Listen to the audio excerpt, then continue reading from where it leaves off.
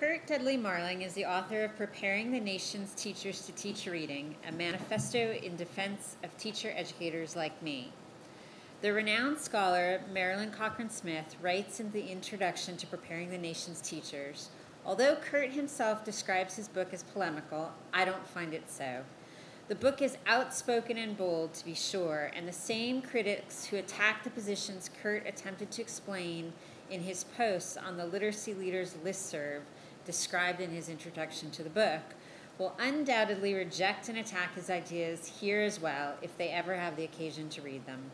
But polemics are often all ideology and no data, all passion and no reasoned principles of practice, all opposition and no proposition about alternative approaches and perspectives.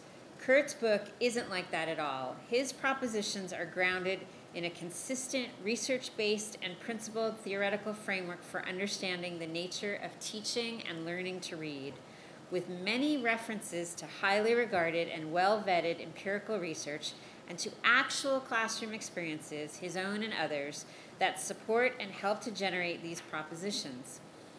His oppositions, especially to NCTQ's operating assumptions about reading, teaching reading, and preparing teachers to teach reading, are also grounded in carefully explained and principled theoretical frameworks, which are widely shared by literacy scholars and practitioners around the country and the world.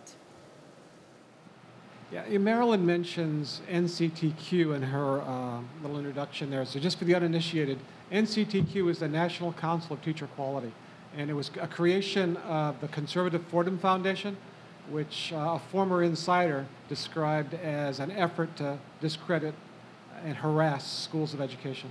So just for the uninitiated, I thought you should know that. Um, there's good re- oops, I'm not good at this. There's good reason to believe that the education of children in high poverty schools, places overpopulated by black and Hispanic students, is plagued by a pedagogy of poverty that focuses on low level skills to the near exclusion of the engaging high level curriculum commonly found in higher academic tracks. A society organized by the free market is a lonely, hateful place that is an anathema to caring teachers eager to create respectful, inclusive classrooms. NCTQ's attacks on teacher education are animated in part by the belief that University-based reading educators are mostly whole language advocates who eschew the teaching of the fundamentals of reading, like phonics. NCTQ shares this belief with many critics of American education who seem convinced that the emphasis on literature and meaning making in schools of education represents an outright rejection of phonics instruction. This anti phonics stance is seen to be responsible for the poor literacy achievement of American school children compared to children in other countries around the globe. To put the argument more simply, American students are not learning, it's believed, to read as effectively as their peers in other parts of the world, and ultimately, the blame for this situation lies with university based reading educators who, because of their rejection of explicit phonics instruction, do not adequately prepare teachers to teach reading. However, there's no evidence that phonics has been de emphasized in schools and classrooms across the country. There is no evidence that reading education in schools of education is dominated by holistic approaches to reading, as many critics have claimed. Meaning centered approaches like whole language are not antiphonics. Letter sound information is always part of the data readers use to bring sense to reading texts. After all, no one reads with their eyes closed. I want to interject here a personal note that after the 50th time I came back from the grocery store with the wrong item, my wife is now convinced that I do read with my eyes closed. it's not true, I just am careless. I'm sorry for that. American schools are not failing compared to schools in other countries. David Berliner's analysis of international comparisons clearly shows that American students in relatively affluent schools do very well compared to their peers in other countries.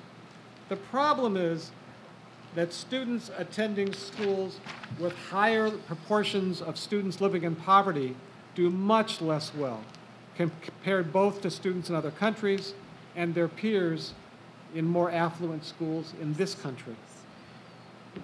The arguments about reading instruction in the U.S. have focused mainly on pedagogy, but the evidence indicates that while pedagogy matters, it will always be insufficient for overcome, overcoming the material effects of poverty. If we're really serious about leaving no child left behind, we must give serious attention to the high levels of poverty among American school children. Reading pedagogy will never be sufficient for overcoming the material effects of poverty. And one final uh, excerpt. Despite its fatal flaws, the NCTQ's claims about how reading is taught in American colleges of education has been readily accepted by pundits and policymakers, no doubt because they already believed that there were serious problems with reading education in the U.S.